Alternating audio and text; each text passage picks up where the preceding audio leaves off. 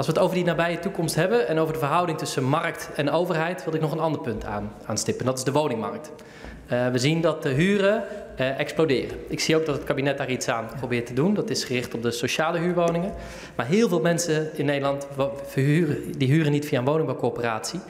En ook daar dringt zich op, we hebben daar niet een sterke overheid nodig, die eigenlijk zegt, die huurstijgingen, dat moeten we nu niet willen, zeker niet in deze tijd. En dat moeten we maximeren. Eigenlijk om daar ook de marktwerking terug te dringen, omdat de prijzen die je nu moet betalen voor huizen niks meer te maken hebben met de reële prijs van zo'n pand.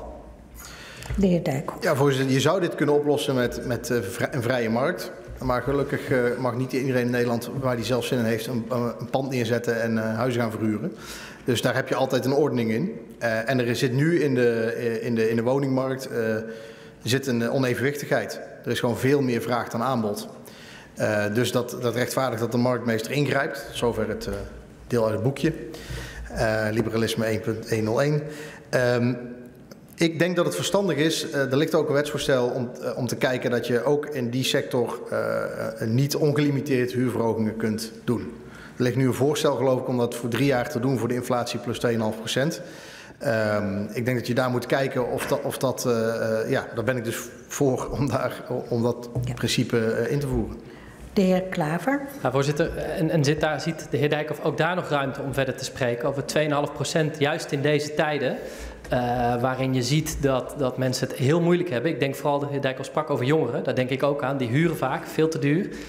Uh, om te kijken of daar nog ruimte zit om met elkaar te spreken, of we dat misschien nog iets scherper kunnen zetten. Uh, want de huren zijn eigenlijk al veel te hoog en, en iedere stijging is eigenlijk één te veel. Kunnen we daarmee over in gesprek? Als we het toch hebben over kunnen we problemen oplossen voor mensen en met elkaar samenwerken? Op dit punt zou ik dat heel graag willen doen. Ja, voor het gros van de gevallen sowieso, denk ik. Want ik, ja, je kunt moeilijk zeggen, nou, als je mijn huur verhoogt, verhuis ik wel. Want ja, waar ga je dan naartoe? Dat werkt nu niet.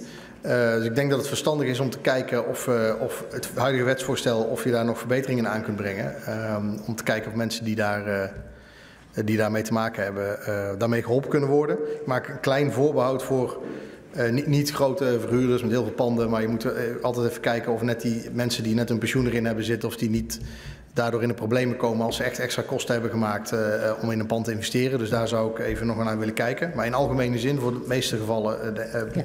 Verstandig om erover door te praten. Tot slot, nou, de heer Klaver. Een redelijk punt van de heer Dijkhoff. en ik kijk er naar uit om te kijken of we op dit punt het in ieder geval een stuk verder kunnen brengen. Zodat het heel concreet, we hebben hele grote veranderingen tussen staat en markt.